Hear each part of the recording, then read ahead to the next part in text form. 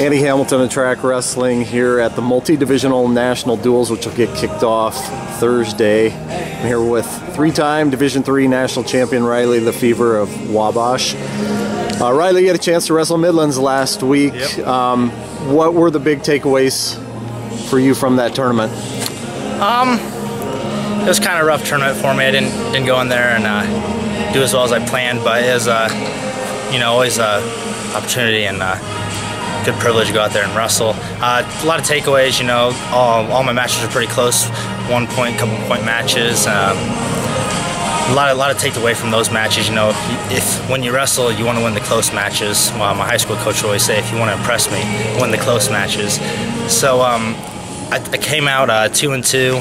Um, but it was a fun, fun experiment experience. Uh, wish I could have gone gone better, but um, um, guess I got uh, stuff to work on and can turn around to the second half of the season and prove even more. So it gives me uh, some stuff to work on. What did you take away, though? I mean, uh, from things that you can work on. I mean, obviously Oh, you've yeah. you've post, posted victories over guys at that level. I mean, you beat you beat the eventual champion Yeah. earlier this year. You beat Aaron Uh-huh. Studebaker from Nebraska in Ames. So you've had, you've had experiences against these guys and and success against guys that are ranked pretty high at the Division One level.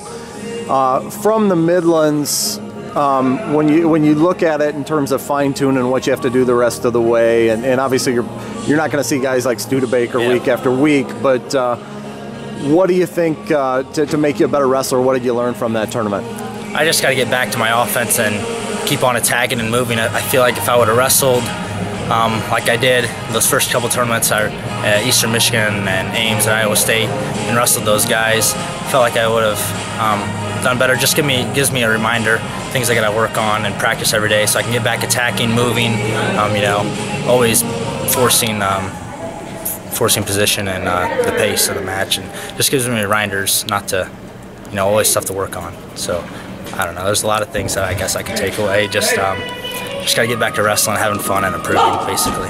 What are those tournaments like for you to get to test your skills like that? You've had a lot of success at them too. Uh, they're a lot of fun, especially when I go out there and I feel like I wrestle my best. I, they're a lot of fun. You know, I, I get to wrestle in a lot of tournaments over the summer, um, like University Nationals. I've gone to Midlands twice now. A lot of tournaments where a lot of D3 wrestlers don't really wrestle at.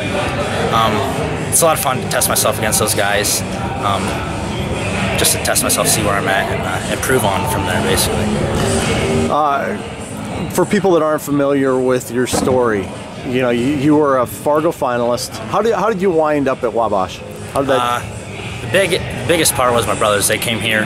They actually uh, started out at Indiana Tech NAIA school, but then they transferred here, and they were the big reason that I, I came here because in high school we only got to wrestle two years together, um, and it was fun wrestling with them together on, the, on varsity. So uh, that was a big motivation for me to come to Wabash, get to wrestle with them again, and because it's always fun to wrestle with my brothers, and uh, so that was a big motivation. But I found out about Wabash through Coach Anderson's camp. Um, and then from there, I came on a visit. My brothers ended up going here, so um, it's really got a good fit of academics, athletics, and uh, a lot of people don't know this. It's an all-male school too, but uh, you know, it all just worked out, and it's a pretty awesome place. So you're making the pursuit for a fourth title. When when did you start thinking about winning a fourth title? When did you think it was possible? After I won three, Yeah. you know, you can only take one at a time, so um, try to just do like do it just like that, one match at a time. Don't look too far ahead, because that's when I get in trouble. I mean, look, don't. I mean, a lot of guys get in trouble when they look far ahead. Don't look. Um, take match by match. You know, um, you just got to wrestle match in a match. Keep on um, focusing on your effort and improving.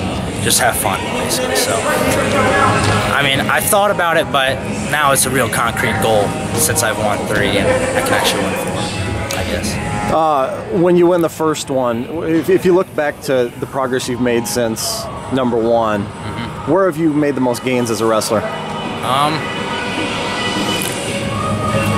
know. Maybe I feel like a lot of things have changed. Um, I'd probably say most notably on my feet, just because that's my favorite place to wrestle.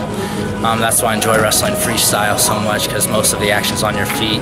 Um, a lot of takedowns. That's my favorite part. Um, bottom and top, never really a problem for me, but just takedowns, scoring a lot of takedowns, scoring a lot of points, moving guys, snapping to the mat. Um, getting to legs and scoring from there. Um, I also like lifting and returning guys to the mat when I'm on top. That's a lot of fun, but a lot of leg attacks and movement from our feet. What's next for your wrestling career after March? Um, I'm not too sure yet. Still deciding. Talking with Coach Anderson, he has some connections with some RTCs. Um, that's in the back of my head. But uh, first, I gotta get. I'm getting married in August, so after that, I gotta cycle that in too um, with uh, my fiance Madison. So, got to do that, and I uh, think hopefully find a place where I can join an RTC and maybe wrestle for a cycle or two, see how that goes. Um, test myself against those guys. You want to coach too, right? Oh, I love I love the coach afterward. Yeah, definitely. Yeah. Well, hey, thanks so much for the time, Riley. Thank Appreciate you. it, and good luck the rest of the way. Appreciate it. Thank you.